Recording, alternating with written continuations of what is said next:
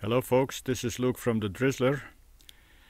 Um, in this uh, video I will show uh, the third episode of uh, the mini drizzler, the learning drizzler saga.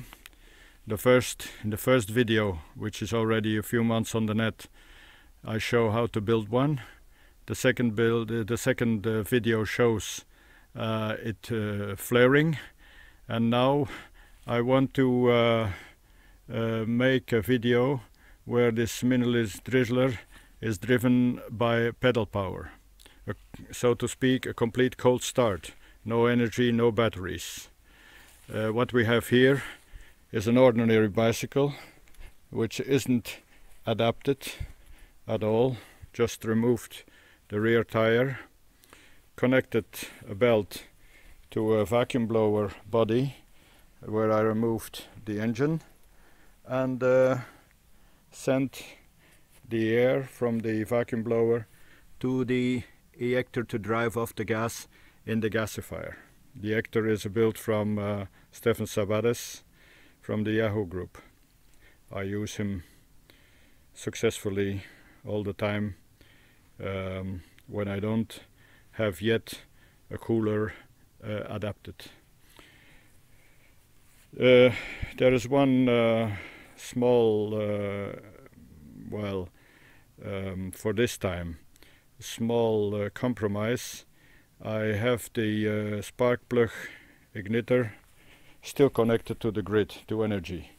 But the hope is that um, further development uh, I could find a small powerful um, dynamo any suggestions on that are welcome, which uh, has enough power to uh, produce a nice energy for the spark igniter because it makes it so much more comfortable that you can keep uh, pedaling along and you don't have to worry for uh, stepping off seeing if the flare is already sustainable uh, just uh, pedaling pedaling pedaling and it ignites from itself this uh, unit is, um, as I said, uh, complete without any uh, energy and thus an ideal setup for emergency situations.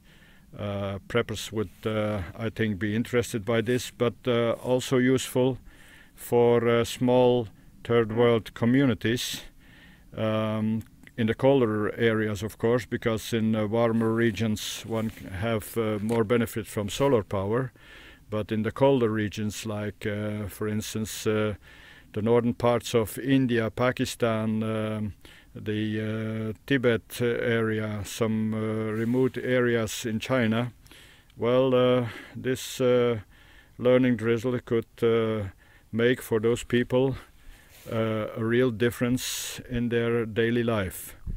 Okay, uh, shut up now, wait for the dark, and uh, I hope uh, it will uh, it will flare as I think.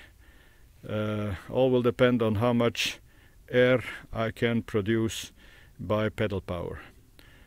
if you want to be informed more about the saga, the ongoing saga, because it's not ended, we will finally try to uh, produce electricity with this uh, with this unit uh, via a small Honda clone, but then filtering, cooling, etc., etc. Well, then keep looking at this channel or surprise subscribe on this channel. Well, bye bye until this evening.